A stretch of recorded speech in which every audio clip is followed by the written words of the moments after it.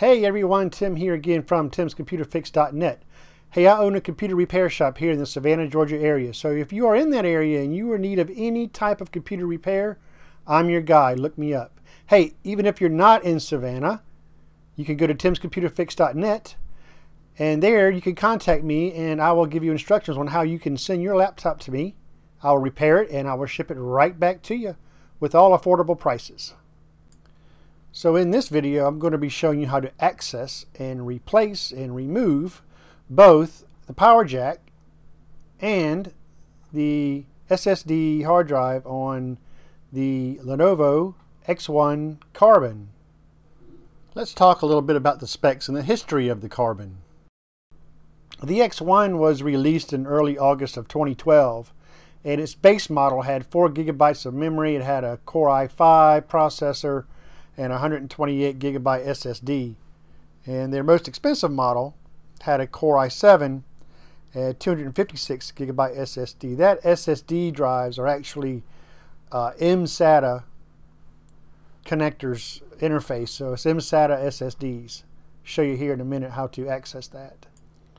Right, so my customer brought in two identical X1 carbons. One is his and one is his wife's. Um, he basically has an issue with power jack on one of them. It's not powering on, but uh, he also, you know, just wants for now for me to swap the hard drive so he can just pick up where he left off. So we're going to swap hard drives on this while I work on the power jack. That way he can take one home to work with and I can leave the other one here in the shop. But we're going to start off by just removing the screws on all the sides and corners of, of the X1. There are seven screws all together. The battery for this Ultrabook is on, on the inside underneath this cover. So once we get this cover off, it's very important that the very first thing we want to do is to disconnect that battery. We want all power sources disconnected from the main board of this computer. So once we have all the screws undone, we're going to flip the Ultrabook over, we're going to kind of open it up kind of flat and we're going to work a flat tool. I'm using a spudger here to kind of work our way around and, and un, unsnap the little clips that it has. And you can take your time with this. It's not really that difficult, but you know you don't want to you, you don't want to be forceful, and just kind of get it to where you can work your fingers in and, and unsnap it. It's not too difficult. Kind of pops right up nice and easy. Work your spudger around. You don't really have to use much of any force just to get those clips unsnapped. And you see here we've got it unsnapped. So we're just gonna just gonna fold back our our our palm rest here. And you can kind of have a little look on the side here because there are ribbon cables that are plugged in. So we want to be really careful. Kind of check out how much play you have in it but once you flip it over, you'll be able to see the, the ribbon cable and all, so just be really careful with that. So if this is your first time opening one of these up, it is just a good idea to have a look to make sure you know how much slack you have on that ribbon cable there. But here sideways is kind of a safe way to do it. You can really have a closer look at what you got. You can see that ribbon cable there in the back. And you see how much room you have there to kind of flip that up.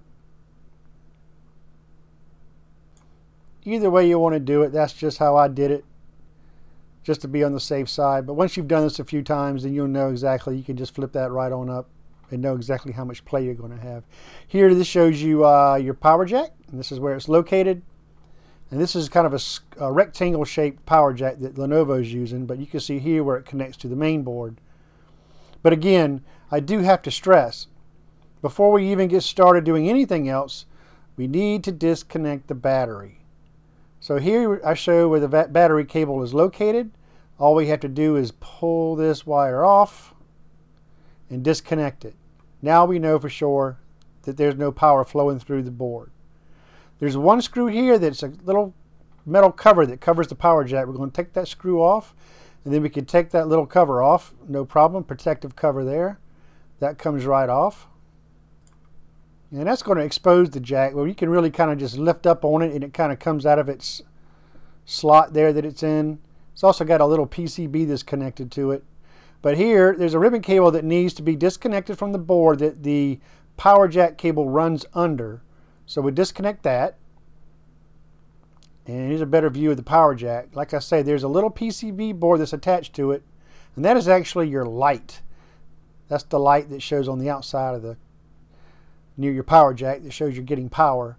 So we'll just carefully lift our uh, cable out of its out of its trace there and being sure we're not taking anything else with it. It's taped down a bit at that one point, so just remove the tape and then we'll be able to unhook the power jack from the main board. Just, just be sure to remember how everything goes back into place. Take photos if you need to. Take your time. It's not a very difficult job to do here to, to change out this power jack.